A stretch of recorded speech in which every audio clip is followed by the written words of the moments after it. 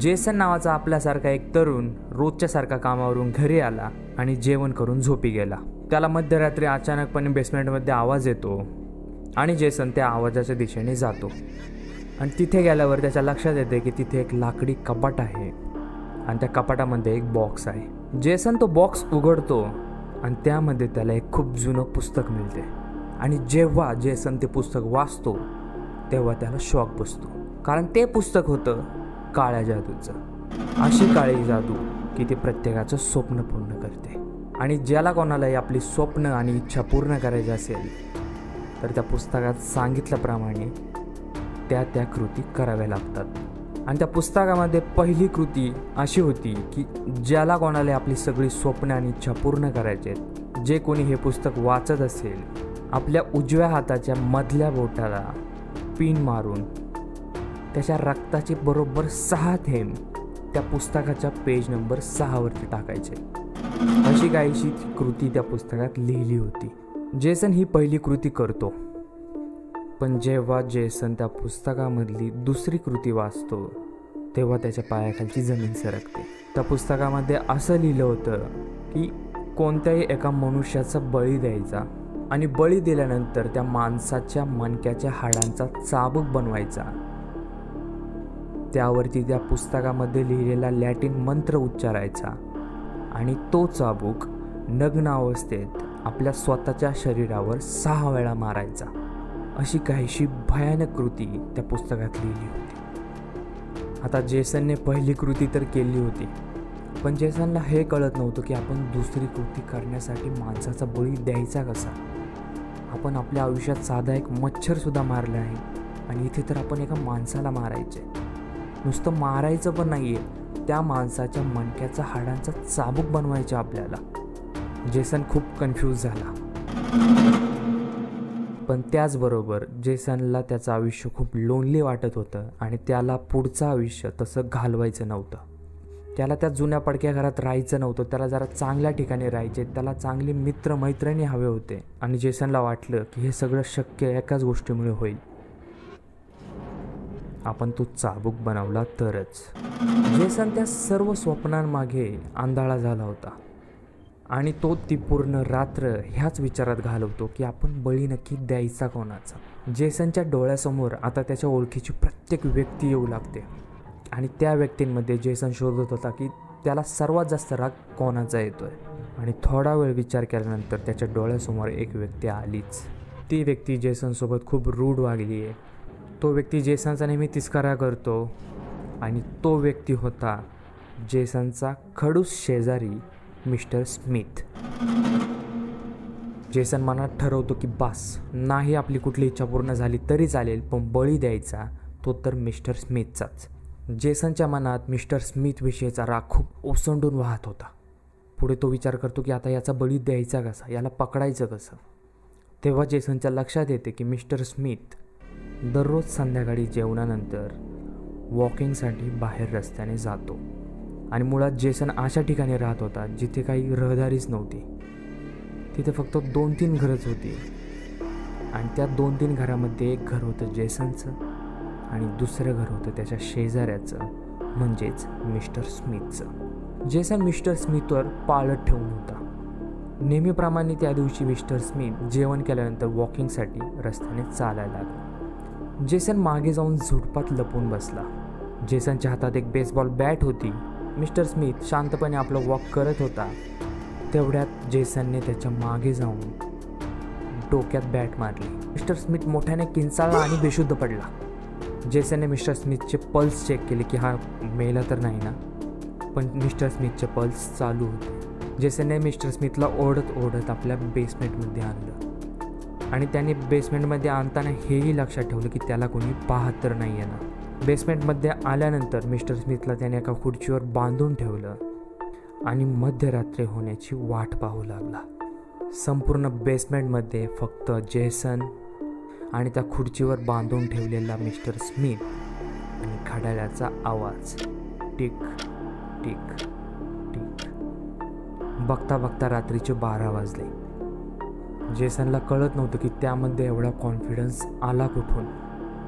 साधं मच्छरही न मारणारा मी आज एका माणसाच्या डोक्यात बॅट मारतोय आणि थोड्याच वेळात त्याचा बळीसुद्धा देणार आहे. पण जेसनला हे माहीत नव्हतं. तो हे करतच नाही आहे त्याच्याकडून ते पुस्तक सगळं करून घेत आहे बारा वाजल्यानंतर जेसन एक मोठा श्वास घेतो आणि पुस्तक वाचायला लागतो. पुस्तकामध्ये सविस्तर कृती लिहिली होती. की बळी कसा द्यायचा? तर ती कृती अशी काहीची होती की सर्वप्रथम ज्या माणसाचा बळी द्यायचा आहे त्या माणसाचा चेहरा साऊथकडे म्हणजे दक्षिण दिशेला करायचा. तर मला तुम्हाला हे सांगायचं आहे की तर दक्षिण दिशाच का? आपल्या भारतीय संस्कृतीमध्ये किंवा जे काही आपण त्याला म्हणतो वास्तुशास्त्राप्रमाणे सुद्धा दक्षिण दिशा ही नेहमी अशुभच राहिली आहे. त्यामुळे जर तुम्ही कधी आजूबाजूला पाहिलं असेल किंवा स्वतःच्या घरामध्ये सुद्धा असाल तर दक्षिण दिशेला तुम्हाला कधी खिडकी किंवा दरवाजा दिसणार नाही. शक्यतो हे टाळतात. कारण इंडियन कल्चर असं मानतं की दक्षिण दिशा ही यमाची दिशा. यमच त्या दिशेने येत असतो. त्यामुळे त्या दिशेला डोकं ठेवून झोपणं पण चुकीचं आहे आणि त्या दिशेला दरवाजा आणि खिडक्या असणंसुद्धा चुकीचं आहे. अर्थातच बाहेरच्या देशांमध्ये सुद्धा हीच काहीशी प्रथा. दक्षिण दिशा तिकडेही अशुभच मानली जाते. तर त्यामुळेच ह्या पुस्तकामध्ये सांगितलं होतं की ज्या माणसाचा बळी द्यायचा आहे त्या माणसाचा चेहरा दक्षिणेकडे करावा. त्यानंतर पुढची कृती अशी होती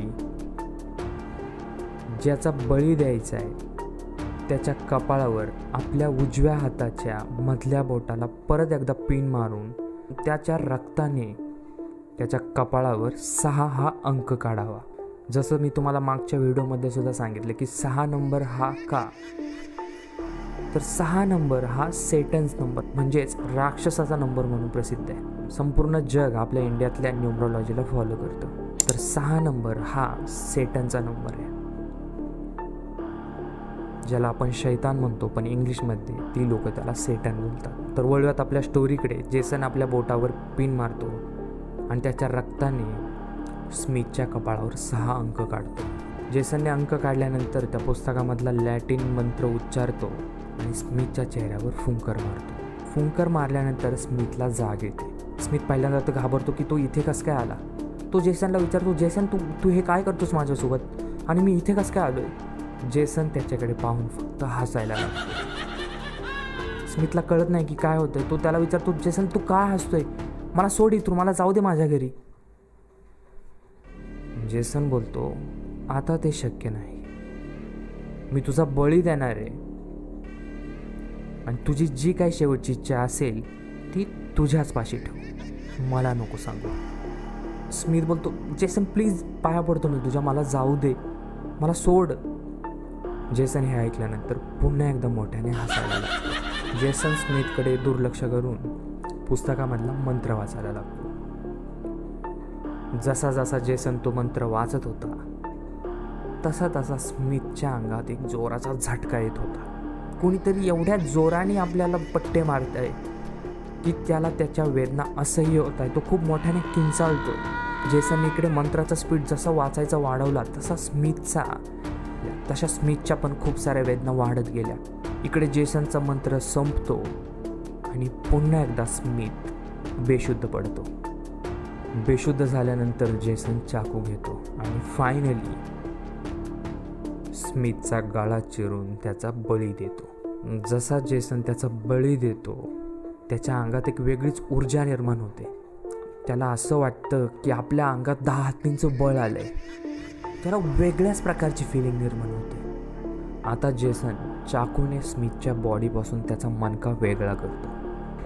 वेगळा केल्यानंतर विचार करतो की आता याच्या बॉडीची विल्हेवाट आपण कशी लावावी? बाहेर तर कुठे फेकून देता येणार नाही आहे आपल्याला इथेच कुठेतरी बघावं लागेल काहीतरी. तेवढ्यात जेसनला बेसमेंटमध्ये फावडं दिसतं.